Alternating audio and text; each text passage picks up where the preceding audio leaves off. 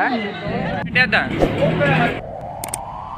Everyone नमस्ते जी। क्या हालचाल? Hope you are good and safe so guys आज हम जा रहे हैं। दिखाता हूँ आपको कि गाँव में कैसे ट्रॉफी खेली जाती है और किस तरह एक जो ऊबड़ खाबड़ सा ग्राउंड है उसको बढ़िया तरीके से बनाया जाता है क्रिकेट खेलने के लिए।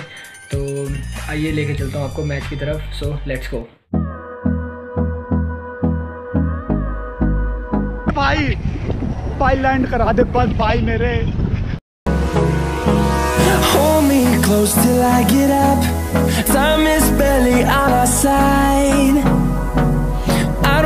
So guys amazing scooter ride के बाद हम पहुँच चुके हैं लोकेशन में और जैसा कि आप देख रहे हैं यहाँ पे ऊबड़ खाबड़ पिच को एक काफ़ी अच्छे तरीके से समतल किया गया है, खेलने लायक बनाया गया है यहाँ पे और काफ़ी एंजॉय कर रहे हैं ये लोग मैच को जैसा कि आप देख पा रहे हैं यहाँ पे कितने बड़े बड़े पत्थर यहाँ पे बीच में पड़े हुए हैं, लेकिन फिर भी मतलब गाँव के लोग कितने मस्त तरीके से एंजॉय कर रहे हैं मैच को और ये पत्थर देख रहे हो आप.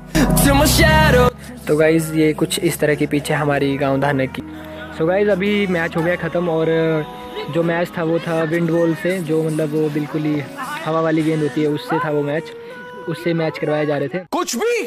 थे। और ऐसा है कि जो टीम्स जीत गई हैं वो तो आगे जाएँगी। बाकी अभी का सीन कुछ ऐसा है थोड़े बहुत बंदे अपन लोग ही खेलेंगे। और ये कुछ इस तरह की ग्राउंड है यहाँ पे। और बाकी मैं आपको आगे जाकर दिखाता हूँ पिच कैसी है।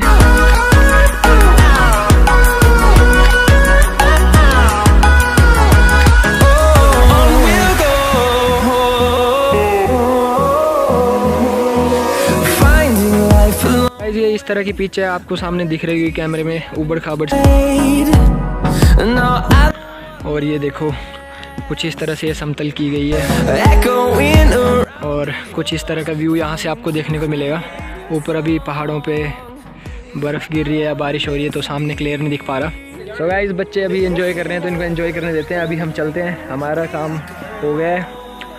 मतलब ब्लॉगिंग हमने कर ली है। बाकी ठीक है फिर आपको मिलते हैं नेक्स्ट सो जय Bholenath We'll go through the wastelands, through the look at the majestic view amazing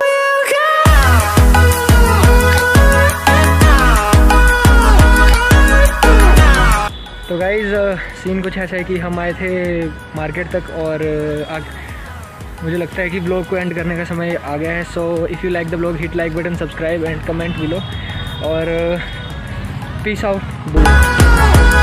and we'll grow. ये मोटा ही मोड़ है। ख़त्म नहीं होता जानता? है ना?